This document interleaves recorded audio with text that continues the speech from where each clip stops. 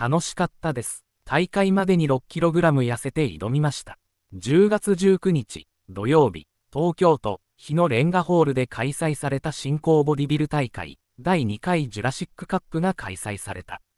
ジュラシックカップはレジェンドボディビルダーの木澤大祐選手、今年引退、合戸孝二選手を主催とし、厳格なドーピングチェックによるアンチドーピングの啓蒙、賞金による競技と生活の両立、ボディビルの一般認知推進を掲げる。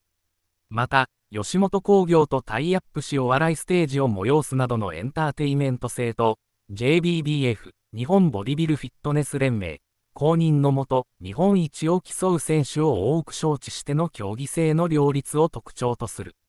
本大会のノービスクラス、ボディビル大会初出場者のカテゴリーに美容外科、形成外科として全国展開する高須クリニックの名古屋院院長、高須幹也、高須幹也49氏が出場。